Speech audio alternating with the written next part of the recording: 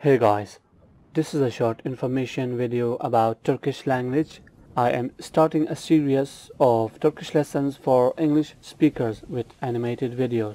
And I will start from the beginning for all those friends who want to learn Turkish in an easy way. So let me tell you a short information about Turkish language. Turkish is a Turkic language about 70 million speakers, mainly in Turkey and Cyprus. There are also Turkish speakers in Australia, Austria, Azerbaijan, Belgium, Bulgaria, Canada, Cyprus, Denmark, El Salvador, Finland, France, Georgia, Germany, Greece, Honduras, Iran, Iraq, and Palestine. Turkish was written with Arabic alphabet before Turkey became a democratic country in 1920. In the time of Ottoman Empire, Turkish was written in Arabic alphabets and mainly used Arabic words. There are many words imported from Arabic, Persian, and other Turkic languages.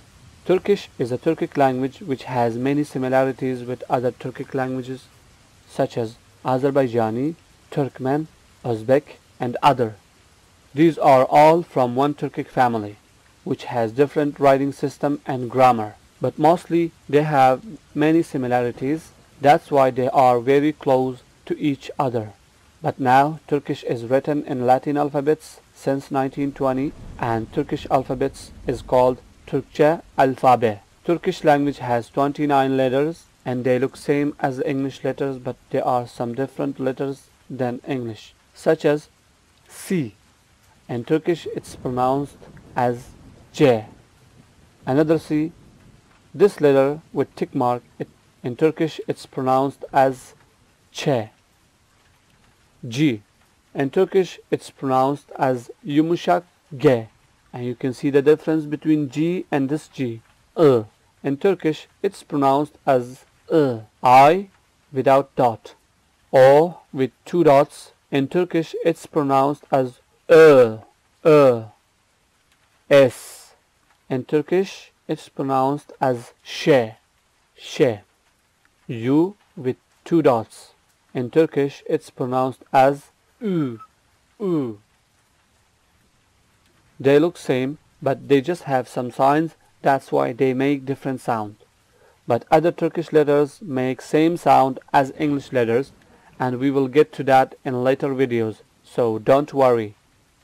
Turkish is easy and simple than English language because it doesn't have complicated writing system such as English language. In English we sometimes write differently and read different but in Turkish we read as we write and it's easy to read and write. And of course I will make it more simple and easy with my animated video style. So in the next video we will learn Turkish alphabets and one by one I will explain how to pronounce them. So that's all for today. I hope you liked this video. If you like this video then subscribe and like this video and most importantly share this video with your friends and family and with those who really want to learn how to speak Turkish. Thanks for watching and see you soon.